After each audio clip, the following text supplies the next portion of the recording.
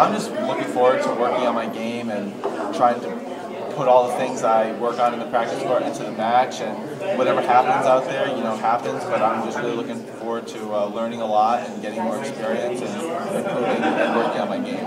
Are you going to get uh, a chance to watch some some of the guys, uh, the top guys in the world play in your off time?